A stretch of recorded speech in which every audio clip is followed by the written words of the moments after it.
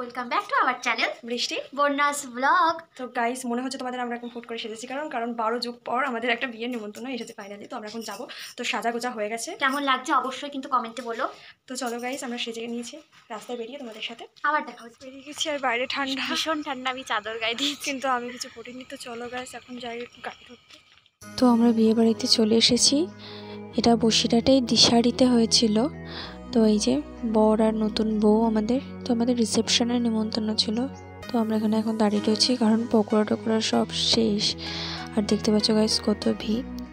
আর বিয়ে বাড়িতে এসেছি আর বউ চেয়ারে বসে একটু ঢং করব না তা কখনো হয়। তো দুজনেই বসে পড়ে একটু ছবি ভিডিও করে নিলাম। আর এরপর যাব খেতে। তো দেখতেই পাচ্ছ গাইস খাওয়ার ওখানে কত ভিড়। তাও আমরা জায়গা পেয়ে গেছি। চলো গাইস খাওয়াটা শুরু করি। আর এই হচ্ছে বিয়েবাড়ির মেনু। তো প্লেট অলরেডি দিয়ে দিয়েছে, শসা দিয়েছে, আর দিয়েছে লেবু।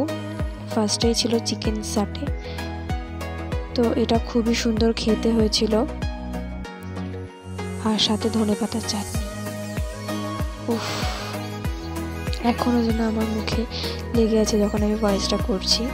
দেন দিয়েছে মুড়ো ঘন্ট, সাথে চিপস আর এই যে চিংড়ি মাছের মালাইকারি। উফ পাকটা চিংড়ি বলে কথা ছাড়লে হবে?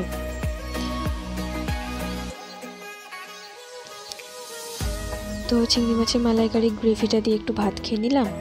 ফার্স্টে দুটো নিয়েছিলাম, তারপর আরও দুটো নিয়েছিলাম। আমার তো ফেভারিট চিংড়ি মাছ দেন খাসির মাংস। দেখতে পাচ্ছ কত জুসি খুব খুব ভালো করেছিল মাংসটা, আমার খুবই ভালো লেগেছিলো।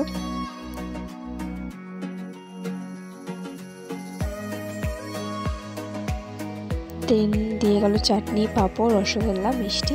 খাওয়া হয়ে গেছে? একদম পেট পুরো ভর্তি হয়ে গেছে। আর তোমরা তো দেখেছ কেমন খেলাম। তো চলো এখন নিচে যাই। তো এরপর চলো বাড়িতে যাওয়া যাক। আর বাইরে খুব ঠান্ডা লাগছিল তখন রাত অনেক হয়ে গেছে। আর বাড়িতে গিয়ে এবার রেস্ট নেব।